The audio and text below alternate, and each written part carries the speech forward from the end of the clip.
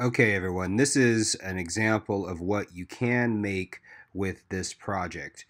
I am going to illustrate on how to make something like this, and I want you to take this concept and run with it and make your own version of this utilizing different materials. I'm going to show you how to get those materials, and I'm going to break this uh, whole thing down for you right now.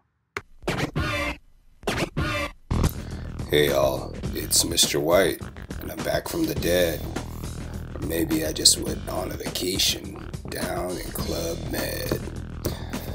I can think you can tell that the Club Med part is a lie, because my voice is very fried. So, I'm about to introduce to you a new tutorial and all of you need to do this and do a screenshot of this of your progress that you make today on the tutorial. You will have until Tuesday of next week to finish this project. I want to see amazing work. I want to show people this work so they know how amazing you are. Be cool. Thanks for waving at me on the cameras. Take care of yourself Stay out of the studio. Be nice to the substitutes. Have a good one. Goodbye.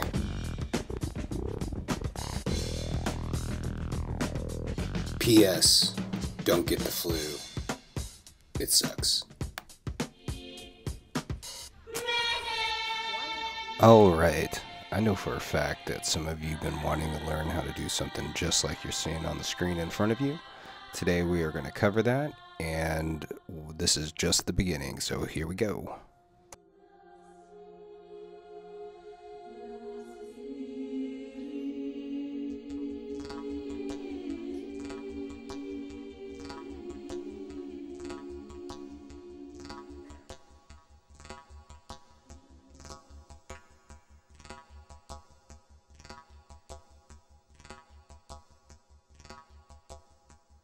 All right, so go to images.google.com, do a search for what you want. So, say I'm searching for the flying spaghetti monster. I search for him. I'm going to go to tools. I'm going to go to sizes larger than 1024 by 768. I'm going to get a transparent background. Um, looks like it's taking a minute to pull up. And once it does, I find this monster on a wiki page, which means I can use it. Uh, you guys can use anything for this project as long as you do not try to make money off of this. This is just a project for high schoolers, so you got a little bit more leeway within uh, this project. Uh, don't use any logos or anything like that, but you can use uh, different types of images of celebrities or what have you. All right, so anyways, I added an images folder and I put my monster in there. I also made a video folder and I'm also going to make an audio folder uh, just so I can have everything in one place, and that's inside my combo fun folder. All right, so I am going to head back to Final Cut. I'm going to make certain that I have a new project titled Combo Fun. That's the name of this project.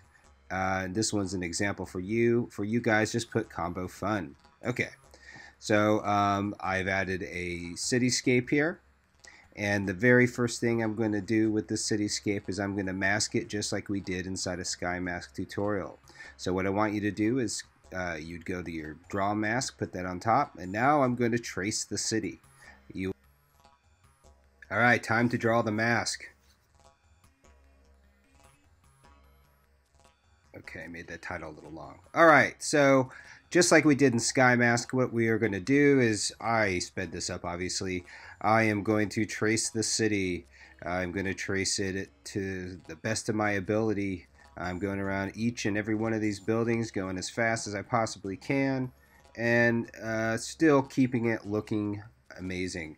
So uh, going through getting all these nooks and crannies, up and down, all around the city. Remember, I'm using that little square uh, rectangle thing in the corner to navigate through my um, uh, image here.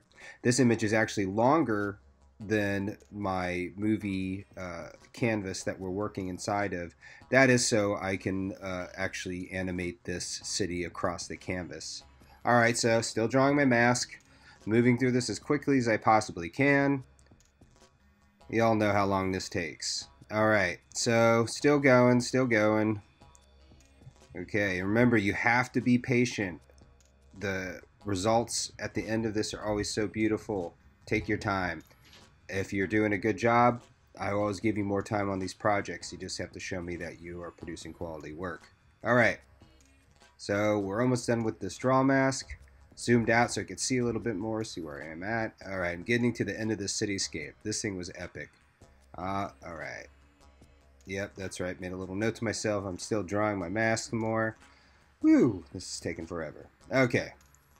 Getting close to the end of this one. All right. Okay. Now remember, we go outside of our canvas, click from our last point, and then we go over to the left, and I click another one, and now I take my last point and I connect it to my first point, which is when my mask is created. So we're going to do that now. And come on. Are you going to click this or we just Okay, connection's been made. Okay, now we have to invert the selection. That is true. Then selection has been inverted. Yay. Okay.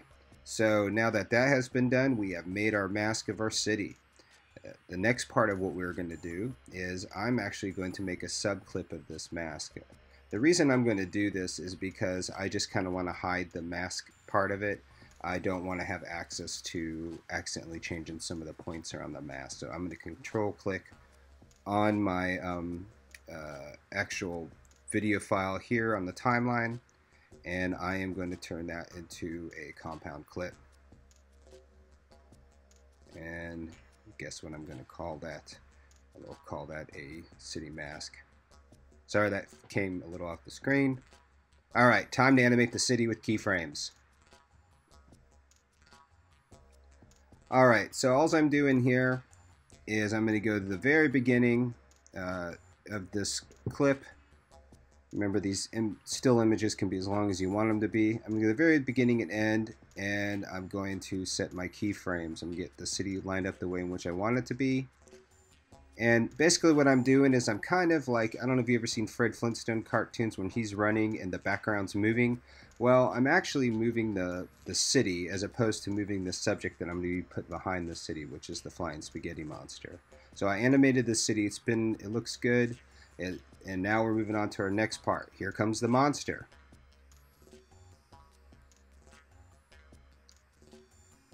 Alrighty, you had a little break there. Okay, so now I'm bringing in my flying spaghetti monster. I am going to first drop him in front of the city, realize I don't want to do that. I'm going to put him behind. Oh, look, there he is. But he's going the wrong way as the city's moving one way and he's facing away from it. Looks a little awkward. So what we're going to do is I'm going to flip him around. So uh, let me line this up a little bit and I'm going to stretch this, pull him out so he's about the same uh, distance or size on the timeline as the cityscape. Now I have that going on. And okay, everything looks good. I like the way that that's flowing, but I want to change his direction. So I am going to go to transform and I'm going to just grab this and I'm going to grab the ends here and flip him the other way just by grabbing the middle point on that rectangle. As you can see on the right hand side, you see the information change with it. That is our information palette. You all know that. Okay, now I'm getting them all set up. And I am going to begin to create some animations. All right. That looks pretty good. So now I'm going to click my uh, keyframe for my horizontal and vertical. And I will also be having my uh, utilizing, I'll be utilizing the Y a lot in this, so he kind of bobs up and down as he's moving through the city. And I'll be utilizing X to kind of speed him up as the city scrolls past him. Remember, the city is um, animated, so it actually scrolling past him, that sort of Fred Flintstone look that if you ever watched those old cartoons where the background just keeps staying the same. Um, I just have the city, as you know, moving past him in front, as a, and I'm also, as you can see here, animating the creature utilizing keyframes. So he's moving through the city, I'm moving him up and down, And now it kind of looks like he's terrorizing this town. So let's see how this plays out. Yeah, that's looking pretty cool. So if I had a lot more time, I would probably show you guys how to animate his appendages and all those types of things. But since we do not have the luxury of time today, uh, we will deal with that at a different point. Plus, it'd be very overwhelming. So you see, it looks pretty cool moving through the cityscape. You can see over on the right-hand side my information palette where that the keyframes were animated. All right, we need more. Let's find a jet or three. And you learn how to edit with Preview, which is a program here on our Mac. Okay, so we're going to search the internet for large jet.png files with no background. I talked to you about this at the beginning of this thing. And so basically I sped this up. I'm just downloading a bunch of PNG files. And I'm saving them inside my movies folder, inside my images, inside my movies folder. Alright, here they are. I'm naming them properly because I don't want to get confused. So if you double click any image in uh, your Mac, it'll open it up inside your preview. Uh, once you open it up, you can do a few things with it in preview, including select portions of it just by clicking and dragging across, which is what I did. I selected a portion, I hit Command C, and then I went up top and I went File to New, Paste, uh, and then I made a new version of this, which I am now saving inside my images folder. Alright. Sweet. Now I'm doing the same with all of these. As you see, I'm going through, selecting the pieces. I'm going I'm hitting Command C on my keyboard, and then I'm going to go New from Clipboard. So I hit Copy, and now I'm going New from Clipboard, and it pastes and makes a new thing. Uh, then I can go and save this. So when I say new thing, you know I'm talking about a new jet. I just selected the portion that I wanted, which is the jet shot from the horizontal section. And here I am doing again, go and file to copy, file to new, new from clipboard, and then I go file, save. And then I save that into my images folder inside my movies folder. Word. So that's preview. Very quick, to the point. It's super simple program. It's built in all Macs. I hope that you find this to be useful because you guys don't have Photoshop yet. All right. Now we're moving on to keyframes on the X and Y axis. I sped this part up because you know how to do this by now, so just watch. Okay, so I'm adding the jets to my uh, pro, uh, to my uh, project, and so I'm sizing them down and I'm getting them lined up the way in which I want. And utilizing X and Y axis, just like we've done a million times, and setting up my keyframes, you know, making those diamonds white, as I'm always telling you, uh, go ahead and get everything in order the way in which I want. And you see I'm beginning to animate these jets so they fly across the screen. So here we go, sizing this one down too. And you see I'm getting this one sped up as well. This was uh, sped up about 500%. So you can see that um, these jets are beginning to fly across and you can reference the original image if you don't know what I'm talking about. See, I'm speeding it up a little bit more. You know how to do all that. And now we add the sky, just like Sky Mask tutorial. If you don't know what I'm talking about, go back to the Sky Mask tutorial. Okay, so um, I had this really cool shot of the desert uh, night sky time lapse and I'm going to put that in the back but it's much shorter than the rest of the video. So I'm just going to copy and paste it a few times. And when I copy and paste it, what I'm actually going to do is I'm going to copy it and then I uh, going to I'm realizing I'm moving some stuff around here. I need to get this below my flying spaghetti monster. So give me one second as I do that. But first I think I'm going to reverse this clip, which is a good idea. Alright, let's get all this reversed. Select those pieces out. I'm going to copy it.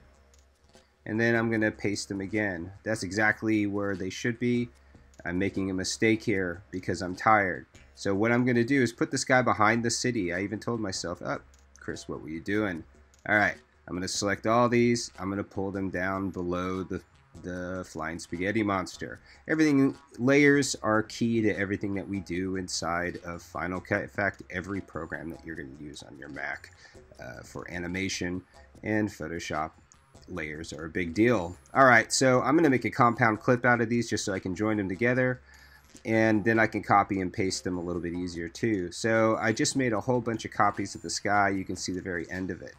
Now, um, check this out. I'm to get all this lined up how I want. It's starting to look pretty cool. And this is just something I, I threw together very quickly, as you know, because you have watched me make this. Alright, now I have my jets flying by. I have the sky back behind me.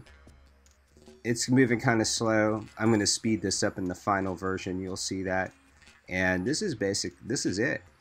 Essentially, uh, what I want you guys to do is I want you to put together something utilizing these methods. This is just almost everything that we've learned about already um, from the other projects, just all combined together. I want you to begin this today, and I want you to send me proof of your work, as I referenced before. I um, hope you find this project to be fun. I think it's interesting, and looks like this is looking pretty cool. And that's it.